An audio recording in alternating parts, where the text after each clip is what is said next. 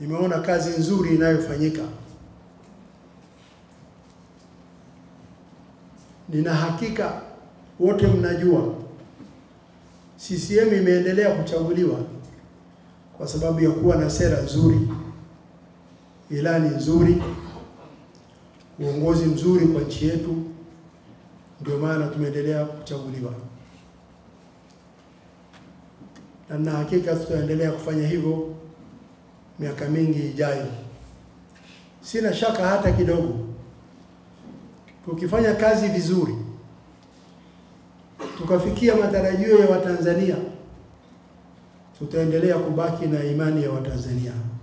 Kwa hiyo ndugu zangu, tujitume na tujitolee kwa ajili ya kuwafanyia kazi Watanzania na kuwaletea maendeleo.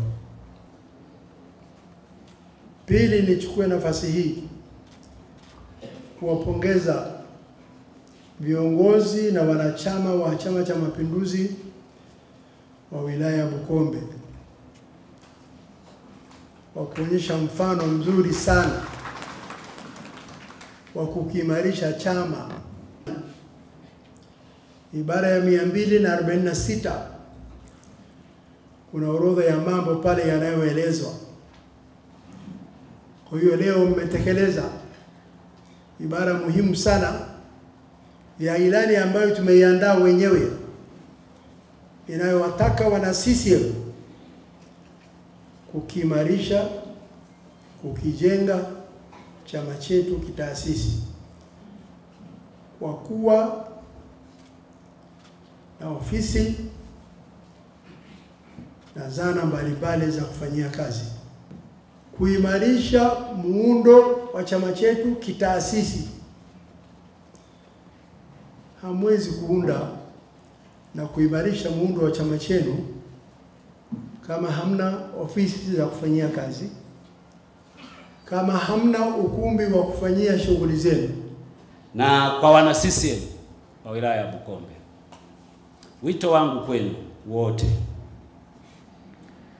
hakuna mahali popote ambapo patashindikana kufanikiwa kama watu wa mahali pale wana umoja.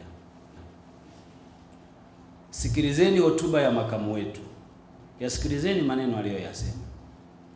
Hatutafanikiwa kama tutachukua muda mwingi kuangalia udhaifu wa mtu, tukatumia muda huo kuujadili udhaifu wa mtu, tukaacha kuangalia mazuri ya mtu. Makamu ametuambia chukueni muda mwingi kuangalia mema aliyonayo mtu na msichukue muda mwingi kuangalia madhaifu aliyonayo. Message hii ni kubwa sana, ni message kubwa kwa wanabukombe, ni message kubwa kwa Watanzania. Tunachelewa maendeleo mahali popote kwa sababu tunachukua muda mwingi kuangalia mabaya kuliko mazuri, na matokeo yake hatujadili mambo ya kufanya, tunajadili watu.